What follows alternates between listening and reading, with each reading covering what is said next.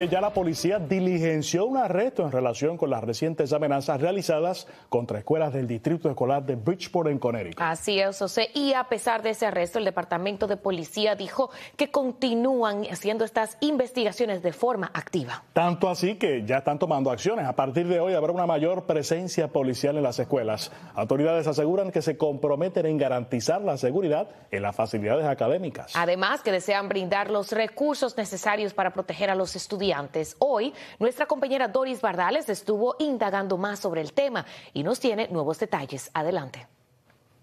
No podemos dormir, aunque yo, mis hijos no están en esa escuela, mis amigos, todo el mundo estaban llamando, están preocupados. Sean reales o ficticias, hay que tomar acción, porque y si son reales, hay que tomar acción por la protección de nuestros niños y esto hay que acabarlo ya. Temor es lo que sintieron padres al escuchar que se hicieron amenazas que implicaría la seguridad de sus niños al ingresar a las escuelas de Bridgeport.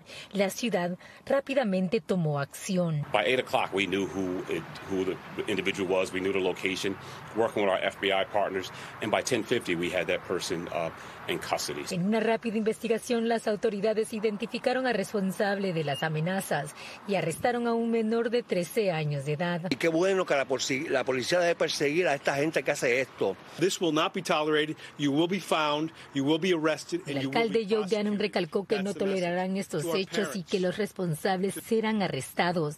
A la vez explicó que junto a la FBI pudieron rastrear las computadoras e identificar a la persona.